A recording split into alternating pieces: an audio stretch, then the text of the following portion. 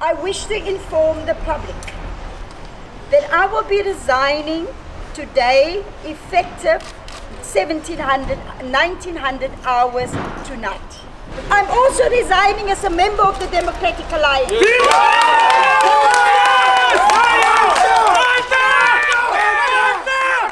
I can, I can no longer stay in this abusive relationship.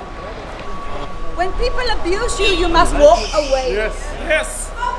Where you have to work with people who are throwing dirt at you on, on a daily basis.